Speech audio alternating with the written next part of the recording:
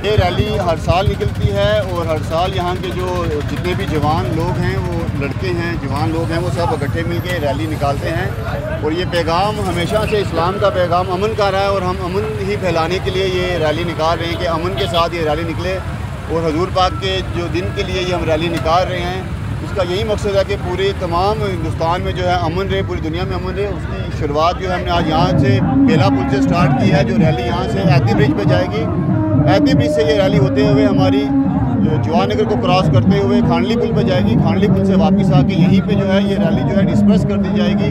तो तमाम लोगों से ये रिक्वेस्ट की जाती है कि वो पूरी चीज़ को पूरे जो हमारी आज की रैली इसको कामयाब करें अमन और प्यार से रहें। जो रिस्पॉन्सिबिलिटीज़ जो है हमें एडमिनिस्ट्रेशन ने जैसे दी थी हमने उसको निभाया है। और आज जो बाइक रैली कर रहे हैं बाइक रैली में हमारे नबी की जो शान है उसमें बाइक रैली जो नौजवान आज कर रहे हैं तो इसमें यही है कि हम ज़्यादा से ज़्यादा नौजवानों को बोलेंगे कि आप आएँ और पीसफुल तरीके से अपनी रैली करें जिसमें किसी भी दूसरी धार्मिक जो है उस उनको जो है ठेस ना पहुँचे।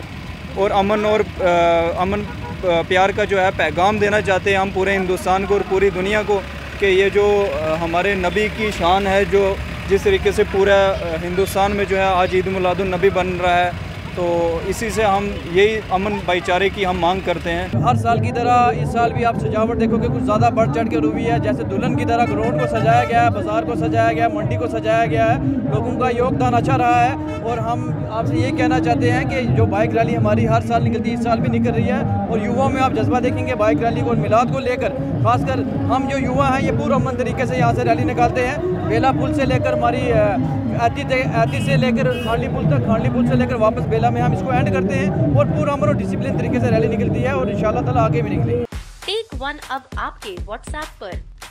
व्हाट्सएप करिए high nine seven two eight two five three six six three पर।